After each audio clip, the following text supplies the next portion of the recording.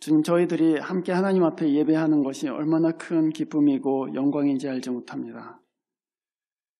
또 여러 인종의 사람들이 또 여러 언어를 가진 사람들이 함께 모여서 주 앞에 이 말씀 들을 때에 이해할 수 있게 해 주시고 또 저희 마음 가운데 친히 말씀해 주셔서 깊은 데로 나아갈 수 있도록 또 주의 은혜의 참된 곳으로 나아갈 수 있도록 도와주십시오. 성령께서 말하는 자와 듣는 자 가운데 계셔서 하나님의 말씀을 온전히 증거할 수 있도록 도와주시고 그 말씀이 온전히 나를 향한 말씀으로 받아들여지도록 역사해 주십시오. 주 예수 그리스도 이름으로 기도합니다. 아멘. 오늘 베드로가 어떻게 주님의 제자로 부르심 받았는지를 함께 읽으셨습니다. 베드로가 예수님 만나기 전에도 오늘 그 아침에 예수님을 만났는데 이 만나기 전에도 사실은 베드로는 예수님을 알고 있었습니다. 갈릴리 근방에 예수님의 소문이 이미 널리 퍼져 있었고 또 아, 우리가 읽지는 않았지만 이 사건 전에 4장 37절에 보면은 예수님께서 이미 베드로의 집에서 열병을 앓고 있었던 그의 장모를 고치는 장면이 나옵니다. 예수님에 대한 소문도 들었고 또한 자기의 장모가 열병에 걸려 있다가 예수님께서 고쳐주시는 그런 기적을 경험했지만 아직 아, 베드로는 믿음에 이르지는 못했습니다. 다만 예수를 오늘 그가 고백하는 대로 좋은 선생님 정도로 생각하고 있었습니다. 많은 사람들이 기독교에 대해서 알고 또 예수에 대해서도 압니다. 부모를 따라서 오랫동안 교회를 어, 다니기도 했었고 아, 그리고 어떤 때는 인생의 어떤 장면에서는 어떤 영적인 경험을 하기도 합니다. 아, 이거 하나님이 하셨구나. 그런 경험을 하기도 해요. 그러나 어, 교회를 다니고 말씀을 듣고 또 나오지만 아직 믿음에 이르지 못한 경우도 많이 있죠. 이 정도면 괜찮지 않습니까? 근데 예수님 알고 어, 교회 다니고 그리고 어, 그냥 착하게 사는 정도면 괜찮지 않습니까, 여러분? 괜찮지 않습니다. 왜냐하면 아직 그, 그 사람 안에 하나님의 생명이 없기 때문입니다. 아직 괜찮지 않아요. 하나님이 그에게 아직 실제가 아니에요. 하나님에 대해서 알지만 하나님이 아직 살아있지는 않아요, 그에게. 하나님은 그냥 아이디어로 있을 뿐이에요. 관념으로 있지 아직 그에게 말씀하시는 하나님은 아닙니다. 하나님이 말씀하시는 것을 들을 때, 주님이 나를 향해서 친히 말씀하시는구나 하는 것을 드, 들을 때, 그때 사실은 진짜 믿음이 생기는 거예요. 그래서 아, 로마서 10장 17절에 이런 말씀이 있습니다. 그러므로 믿음은 들음에서 나며 들음은 그리스도의 말씀으로 말미암았느니라. 여기서 그리스도의 말씀 그렇게 말하는데 그 말씀의 원어 그 말씀의 원어는 아, 사실은 헬라어로는 두 가지가 있습니다. 로고스라는 말이 있고 레마라는 말이 있습니다. 여기서는 레마라는 말을 사용했습니다. 로고스는 흔히 기록된 말씀으로 우리가 풀이하고요. 레마는 지금 말씀되어진 그 말씀, 살아있는 말씀으로 얘기합니다. 그런데 여기서 사용된 저 말씀에 대한 헬라어 원어는 레마입니다.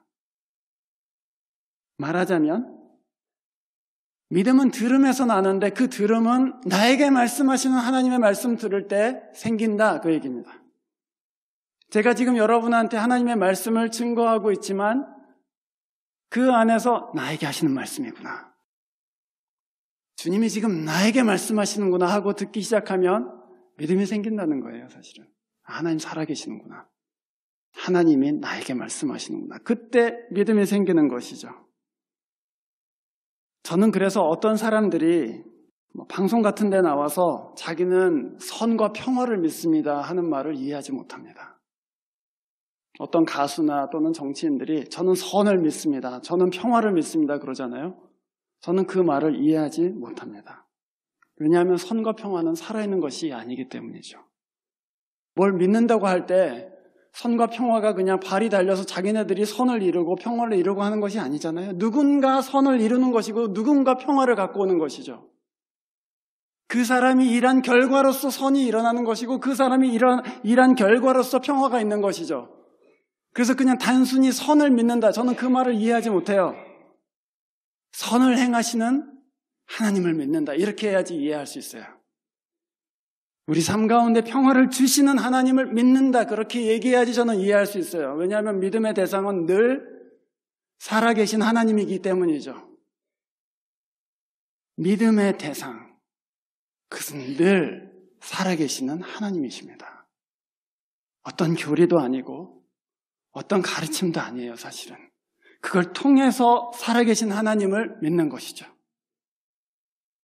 그러나 우리가 어떻게 하나님 만날 수 있을 것인가? 그렇잖아요. 우리가 무슨 방법으로 하나님 앞에 나아갑니까? 보이지 않는 하나님.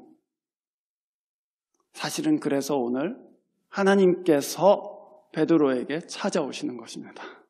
우리가 나아갈 수 없기 때문에 우리는 어디로 갈지 알지 못하기 때문에 마치 욥이 고난 가운데 내가 동으로 가도 좌로 가도 하나님이 계시지 않고 우로 가도 하나님이 계시지 않고 어디로 나아갈지를 알지 못한다는 것처럼 우리 자신이 그래요.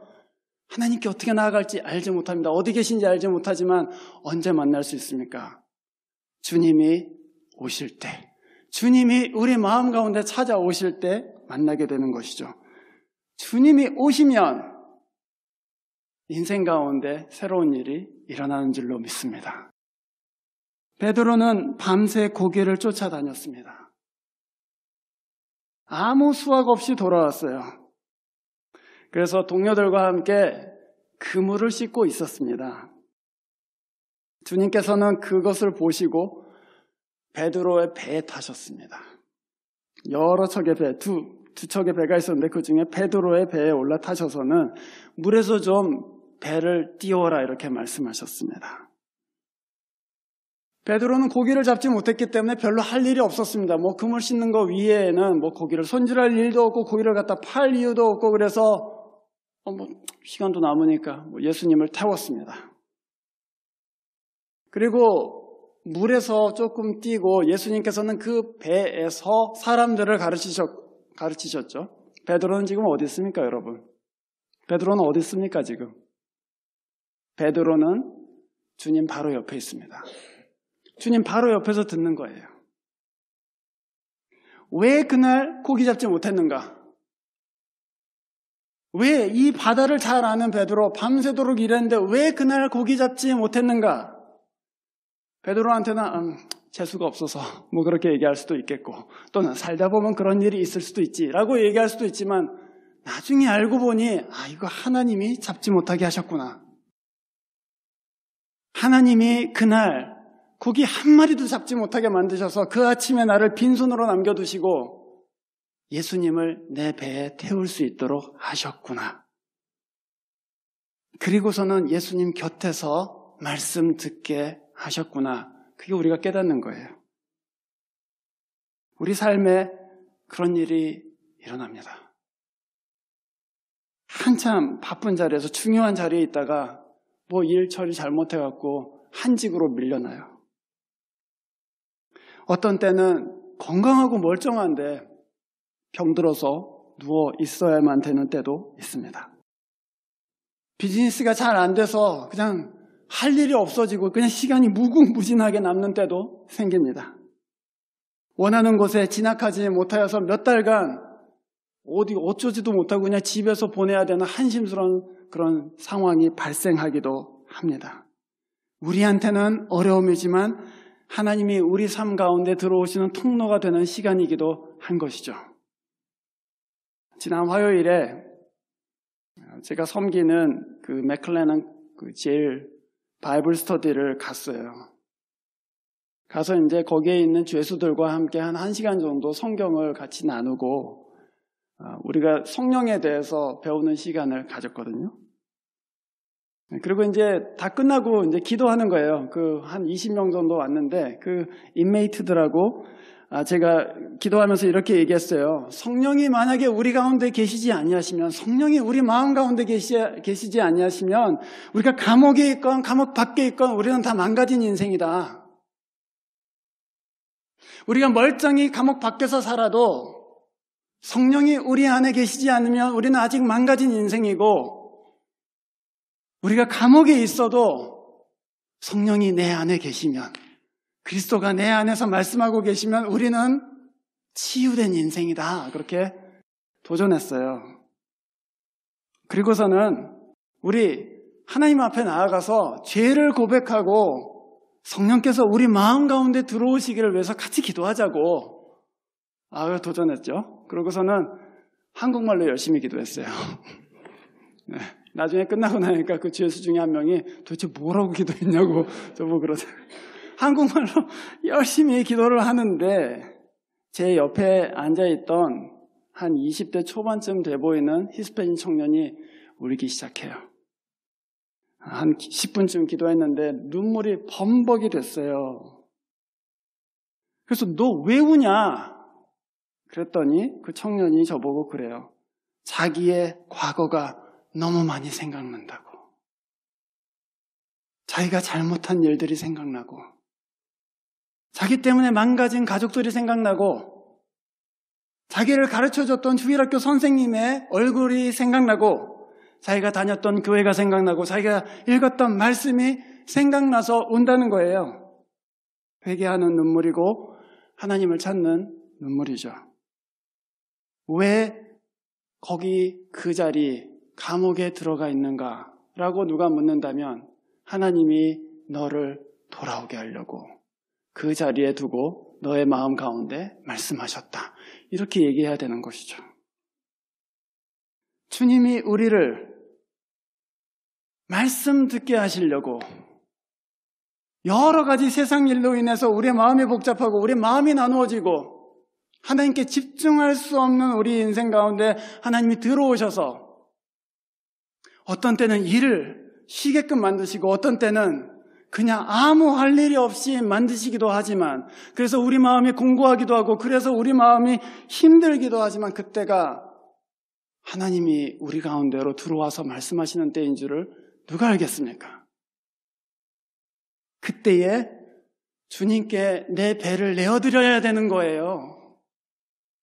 그때 주님 제 배에 올라타셔서 말씀하시옵소서 하고 배를 내어드려야 되는 것이죠. 그때에 하나님의 말씀 듣는 자리로 나와야 되는 것이고, 그때 주님이 말씀하시고 계시는 기도의 자리로 나와야 되는 것이죠. 성경을 공부하는 자리로 나옵니다. 말씀 듣기 시작해요. 새벽에 기도하는 자리로 나오기 시작해요. 주님 말씀해 주십시오 하고는 주님 앞에 간절한 마음으로 주님 앞에 엎드리는 것입니다. 왜 그렇게 합니까, 여러분? 하나님이 우리 삶 가운데 들어오실 때만 새 일이 시작되기 때문이죠. 그때에 하나님이 하시는 일들이 보이기 시작하고 그때에 내 삶의 소망이 새로워지기 때문에 하나님이 말씀하시는 자리로 나아가고자 발버둥 치는 것입니다. 베드로의 삶에서 하나님이 일하시는 방식을 보고 나면 우리는 모든 일을 다시금 내 관점이 아니라 하나님의 관점에서 새롭게 생각해 볼 수 있는 시야가 열립니다. 아, 이거 실패했지만 하나님께서 다듬으려고 하시는구나. 이 계획 좌절됐지만 주님께서 이것으로 인해서 겸손케 하시는구나. 이 어려움과 질병들 나한테는 참 쓰라린 시간이지만 하나님께서는 주님만 의지하라고 나를 끌어내리시는구나. 하나님을 찾는 기회로 다시금 해석할 수 있는 은혜가 있습니다. 여러분, 나무가 뿌리를 내리고 살잖아요. 그런데 나무가 진짜 뿌리를 깊이 내리는 때가 언제인지 아십니까? 감을 때입니다.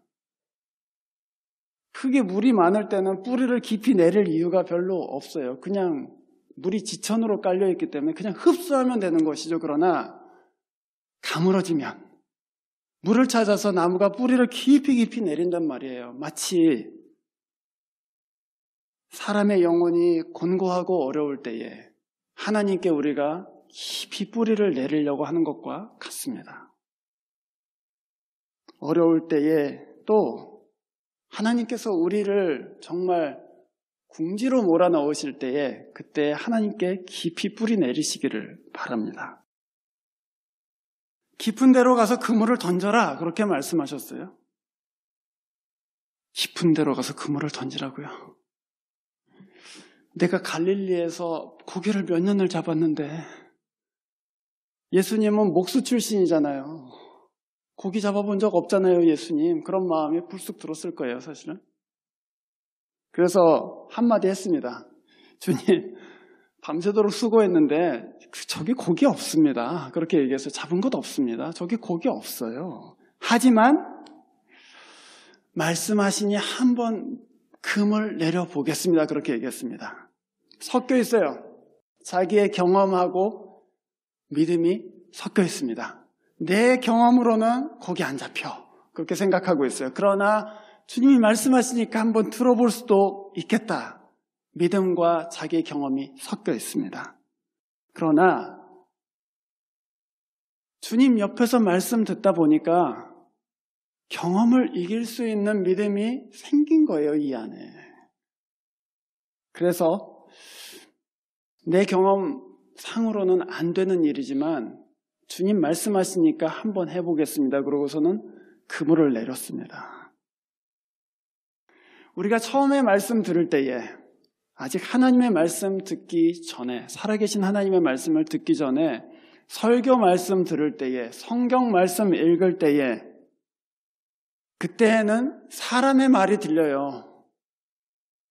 여러분이 지금 듣고 있는 이 설교, 제가 전, 전하는 말씀이지만 사람의 말이에요, 사실은 그렇죠.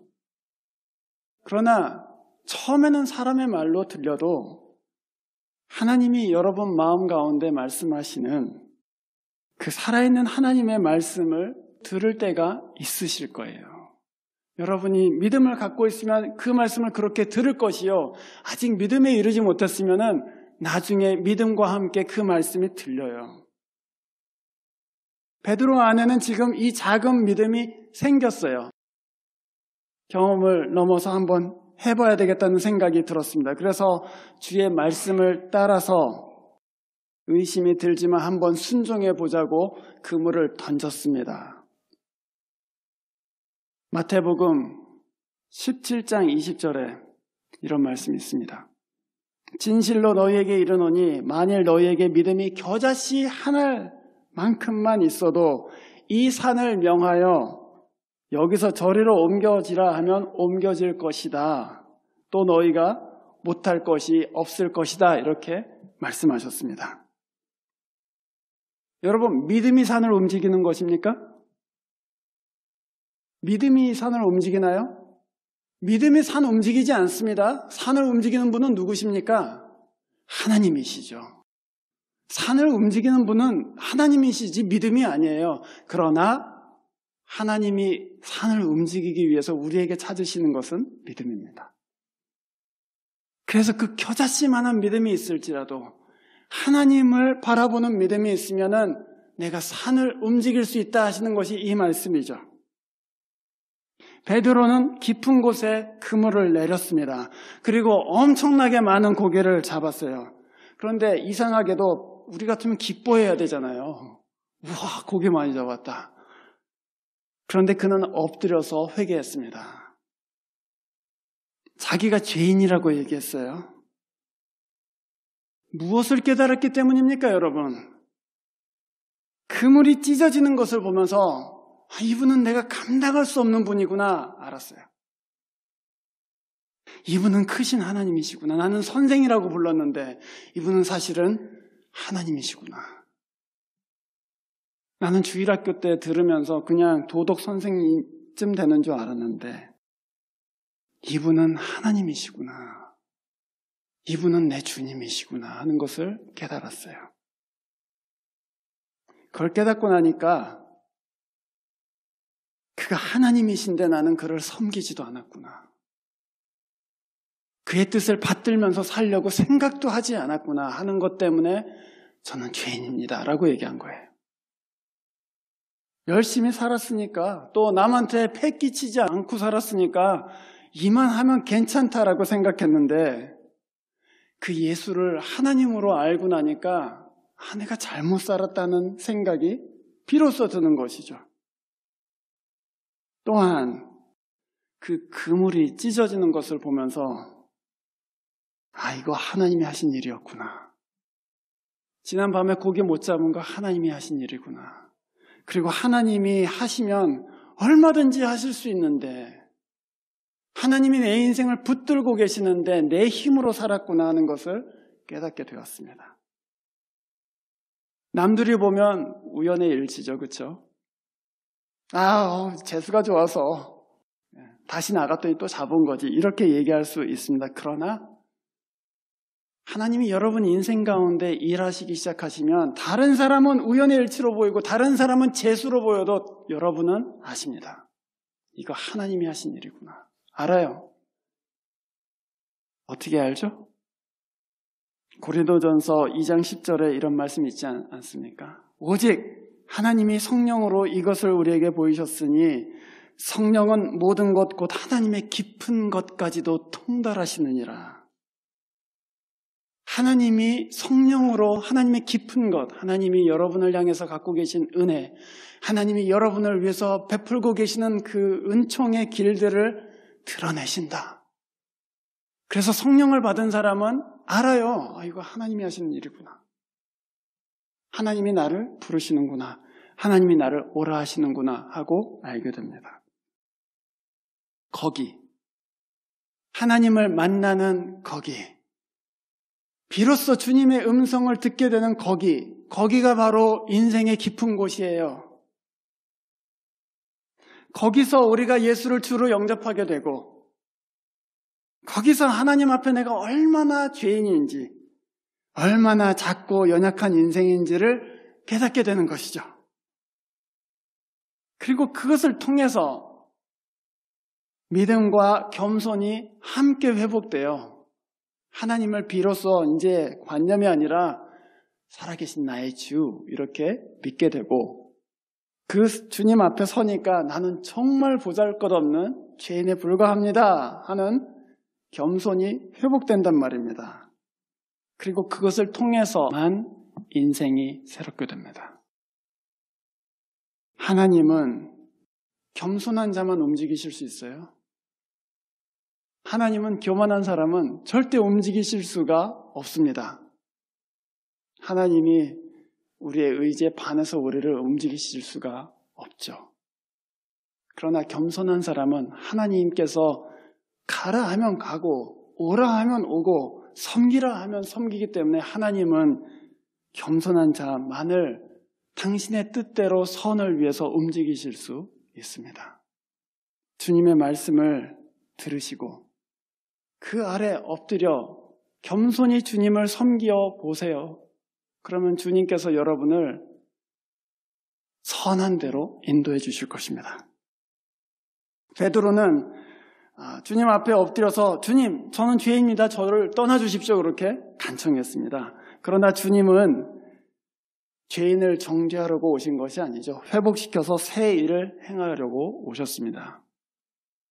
주님은 베드로에게 두려워하지 말아라 이렇게 말씀하셨습니다. 너의 앞길을 두려워하지 말아라. 네가 어떻게 살지도 두려워하지 말아라. 어떻게 그럴 수 있어요? 어떻게 그럴 수 있습니까, 여러분? 그가 우리의 주님이시라면, 그가 우리의 주인이시라면 우리는 그의 것이기 때문이죠.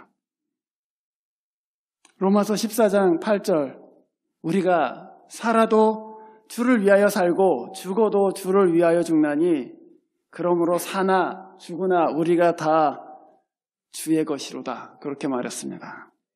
사나 죽으나 다 뭐라고요? 주의 것이다. 그렇게 얘기했죠. 주님은 당신에게 속한 그 누구도 잃어버리시지 않습니다. 우리가 만약에 그 하나님을 우리의 주님으로 모시고 주님이 우리를 내 것이다 하고 취하시면 주님은 결코 우리를 잃어버리시지 않습니다. 그래서 두려워하지 않을 수 있는 거예요. 주님이 나를 소유하셨기에 내가 주님의 것이기 때문에 내 앞길은 주님께서 인도하실 것이다 하고 믿을 수 있어요. 주님을 만나고 나서 우리 인생의 새 일이 시작되죠. 주님께서는 베드로에게 두려워 말라고 하신 다음에 이제부터 네가 후로는 사람을 낚을 것이다. 그렇게 말씀하셨습니다. 이게 새 일이죠. 이전에는 고기 잡으면서 생계를 걱정하면서 살았습니다. 고기 하루 잡히지 않으면 속상하고 고기 이틀 안 잡히면 절망하고 고기 3일 안 잡히면 때려쳐야 되겠다는 생각이 드는 거예요. 그러나 이제는 하나님 나라를 위해서 살 수 있게 됩니다. 하나님의 나라를 생각해요. 하나님의 의를 생각해요. 이전에는 나와 내 가족이 내 삶의 중심에 있어요. 그러나 지금은 내 삶의 중심에 그리스도가 계십니다. 그것이 새로운 삶이죠. 베드로는 이후에 모든 것을 버려두고 주를 따랐습니다. 주를 따른다는 것은 이전에 나한테 소중했던 것들, 중요했던 것들을 뒤로 놓는 것을 의미합니다. 다 뒤에 있다. 나는 주만 보고 따라간다. 그게 주님을 따르는 거예요. 그렇게 함으로써 주님이 최우선입니다. 라는 것을 드러내요. 그가 두려움에서 해방되어서 주를 따르는 것을 보고서는 그의 동료였던 야고보와 요한도 나도 따라갈래 그러고서는 자기네들도 배와 고기를 버려두고 주님을 따라가기 시작합니다. 베드로에게 아까 주님께서 뭐라고 하셨습니까? 너는 사람을 낚을 것이다. 그렇게 말씀하셨죠. 벌써 이루어지기 시작합니다. 여러분 인생의 변화와 참 생명이 어디서 시작합니까? 우리가 좋은 학교에 들어간다고 시작되지 않습니다. 우리가 좋은 직장에 들어갔다고 혹은 정말 천생 연분 배필을 만났다고 해서 시작되지 않습니다. 우리 인생의 변화와 새 일은 우리가 그리스도를 만날 때만 시작돼요. 그가 우리에게 오셔서 우리를 깊은데 하나님을 주님으로 인정하는 자리, 거기까지 인도하실 때 그때에 우리의 참 생명이 또 참 변화가 시작되게 됩니다. 우리는 거기서 그가 이 세상의 구주시오 나의 구주이시구나 하는 것을 믿게 됩니다. 그리고 거기서 우리가 비로소 우리의 무릎을 하나님 앞에 꿇고 경배하고 주님이 제 인생에 있어서 최우선입니다 라고 고백하게 됩니다. 그리고 그때에만 비로소 두려워하지 않고 자유 가운데 나갈 수 있어요. 하나님이 내 주님이시요. 나는 주님의 것이기 때문이죠. 주님이 여러분의 인생 가운데 찾아오십니다. 그리고 여러분에게 내가 너의 주님이다 라고 말씀해 주십니다. 그 말씀 듣거든 주저하지 마시고 그 손을 붙잡고 주님, 저는 주님의 것입니다. 주님 앞으로 나가시기를 바랍니다. 그리고 주와 함께 깊은 데로 나아가십시오. 기도하겠습니다. 주님, 저희들은 다 연약하고 또 부서지기 쉬운 인생들이고, 심지어는 다 부서진 인생들이지만,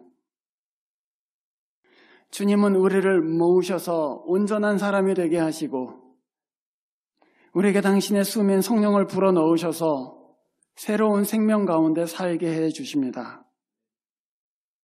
주님, 저희들 가운데에도 하나님의 생명이신 성령이 살아있고 또한 역사하는 은혜를 허락하여 주시옵소서. 우리 가운데에도 그리스도를 우리의 주님으로 모시고 그분 앞에 온전히 엎드려져서 경배하는 참 믿음의 역사가 일어나게 하여 주시옵소서. 우리는 여러 가지 어려움과 또 삶의 문제 가운데서 어찌해야 될지 알지 못하고 어떤 때는 낭망하고 절망할 때도 많이 있으나 주님 오셔서 우리에게 내가 너의 주님이다 라고 증거해 주시기를 소원합니다. 그 주님을 믿고 깊은 데로 나아가서 하나님을 영화롭게 하는 자리에 새롭게 설 수 있도록 이 교회의 은혜를 베풀어 주시옵소서 주 예수 그리스도의 이름으로 기도합니다. 아멘.